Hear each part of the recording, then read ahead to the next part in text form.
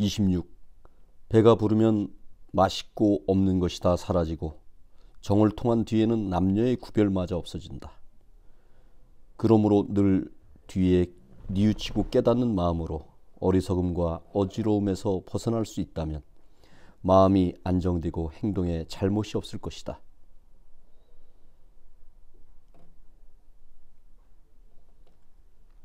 높은 벼슬자리에 있을지라도 마음은 자연과 함께해야 하고 자연에 묻혀서 살아갈지라도 나란 일에 뜻을 두어야만 한다. 세상을 살면서 공만 세우려고 하지 마라. 허물을 만들지 않으면 그것이 곧 공이다. 베풀고 그 덕에 감동하기를 바라지 마라.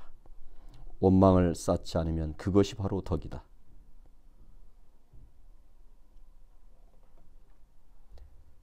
가슴을 졸이면서 부지런히 사는 것은 미덕이나 너무 심하면 마음을 바르고 즐겁게 할 수 없다. 맑고 깨끗이 살아가는 것은 훌륭한 기품이지만 지나치면 사람을 돕고 사물을 이롭게 할 수 없다. 30번입니다. 일이 막히고 기세가 꺾인 사람은 마땅히 초심으로 돌아가야 하고 공을 이루고 일이 넘치는 사람은 반드시 그 말로를 생각해야 한다.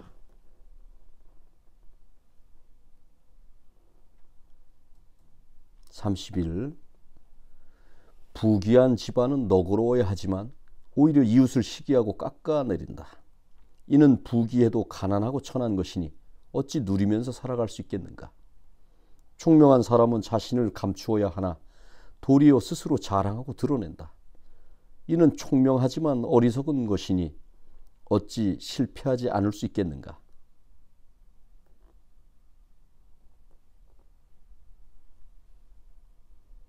낮은 곳에 있어봐야 높은 곳이 위험하다는 것을 알고 어둠 속에 있어봐야 밝은 곳이 드러난다는 것을 안다. 고요히 지낸 뒤에야 움직이는 것이 수고로운 줄 알고 침묵을 지킨 뒤에야 말이 많은 것이 시끄러운 줄 안다.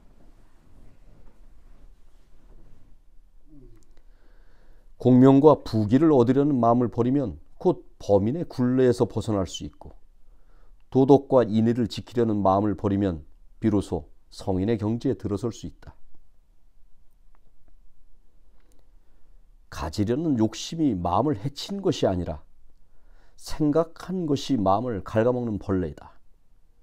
음악과 여색이 도를 가로막는 것이 아니라 눈과 귀가 밝은 것이 도를 가리는 울타리이다.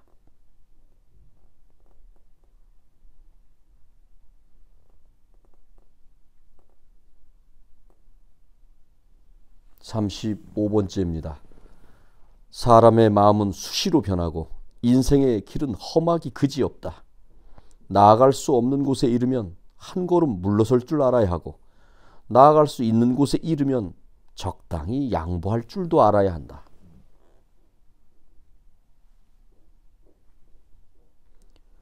소인에게 엄하기는 어렵지 않으나 미워하지 않는 것이 오히려 어렵고 군자에게 공손하기는 어렵지 않으나 예절을 갖추는 것이 오히려 어렵다. 차라리 총명함을 버리고 순박하게 살며 바른 기운을 조금 천지에 돌려줘야 한다. 차라리 화려함을 버리고 담백하게 살며 깨끗한 이름을 조금 세상에 남겨야 한다.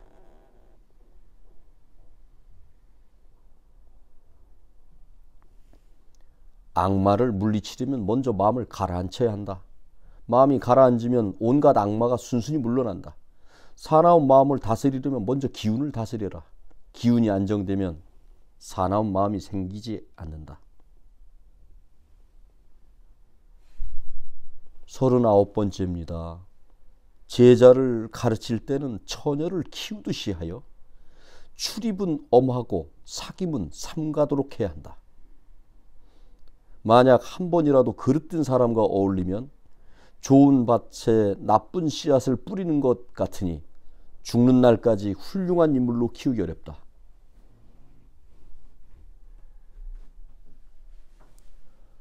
욕망을 쫓는 일이 즐겁다고 잠시라도 맛보지 마라. 한번 맛보면 이내 깊은 수렁으로 빠져들고 만다. 이치를 따르는 일이 어렵다고 조금 물러서지 마라.